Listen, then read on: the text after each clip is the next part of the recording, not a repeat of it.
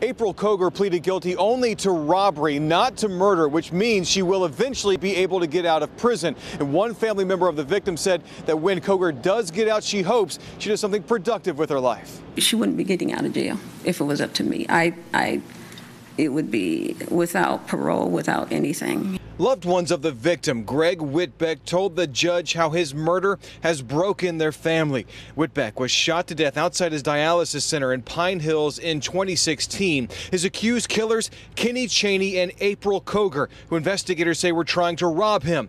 Today, Koger pleaded guilty to the robbery. Before the judge handed down her sentence, Whitbeck's mother told him how he always took care of her and his young daughter. Now she is without a dad a 13 year old girl at the age that they really need a father. My mother can identify with Mary.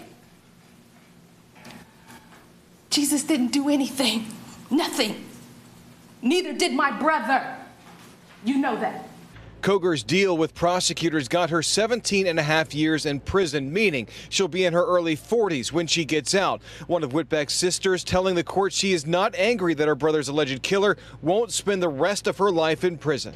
Not just sitting up there looking at four walls, getting an education so she can give, well, so yes, so she can do something productive when she gets out. Now, the man accused of pulling the trigger in this case, Kenny Cheney, still has not had his trial yet, but there is a hearing set in this case for later this month. Reporting at the Orange County Courthouse, Bob Hazen, WESH 2 News.